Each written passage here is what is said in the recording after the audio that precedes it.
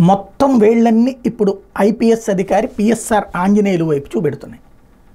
ఒకప్పుడు YCP government హయాంలో అప్పుడున్న ఇంటెలిజెన్స్ చీఫ్గా ఉన్నటువంటి ఏబి వెంకటేశ్వరరావు వైపుకి అన్ని వేళ్ళు చూపెట్టి అప్పుడు ఆయన్ని ఐదు సంవత్సరాలు గొక్క తిప్పుకొనేకుండా చేశారు. చిట్ట చివరి రోజు ఒక నాలుగు గంటల పాటు డ్యూటీ ఇచ్చి అది కూడా కోర్టు ఆదేశాలతో మాత్రమే ఇచ్చి వేధించారు. ఆయన పవర్ఫుల్ ఆఫీసర్. ఏబి వెంకటేశ్వరరావు అత్యంత పవర్ఫుల్ ఆఫీసర్లో ఒకరు.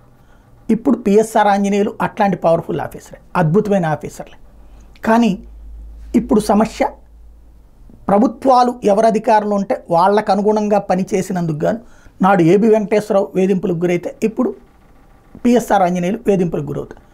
ఏంటి ఈయన చేసినటువంటిది అంటే ఇప్పుడు విశాల్ గున్ని ఇచ్చినటువంటి స్టేట్మెంట్ నిన్న ప్రచారం జరిగింది అది వాస్తవమని వాళ్ళు ఈనాడు జ్యోతి రాసిని అంటే అదే వాస్తవమై ఉంటుంది. ఎందుకంటే చర్య తీసుకుంటున్నారు అంటే ఇప్పుడు వాళ్ళ మీద కేసు కూడా నమోదు చేస్తారు. అరెస్ట్ కూడా చేస్తారా పిఎస్ఆర్ ఆంజనేయులు?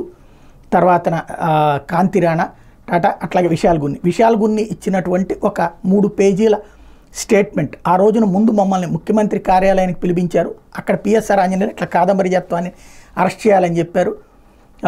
విషయం ఇదని చెప్పారు. ముఖ్యమంత్రి స్నేహితుడైనటువంటి జిందాల్ అక్కడ. తనని కాపాడేందుకు సంబంధించినటువంటి ఇష్యూ అని చెప్పుకొచ్చారు. అప్పుడు ఆ తర్వాత రెండు రోజులకి కేసు మా దగ్గరకు వచ్చింది విద్యాసాగర్ కేసు. అప్పుడు ఈ వ్యవహారాన్ని టికెట్ రిజర్వ్ చేసుకోవడం కానీ ఇదంతా వేగంగా జరిగింది అన్నటువంటి పాయింట్ని చెప్పుకొచ్చారు. అరెస్ట్ చేసి తీసుకొచ్చామన్నటువంటిది. ఆ స్టేట్మెంట్ ఆధారంగానే ఇప్పుడు ఈ ముగ్గురి మీదన కేసులు నమోదు చేయడానికి రంగం సిద్ధమైంది అన్నటువంటిది ప్రధానమైనటువంటి అంశం.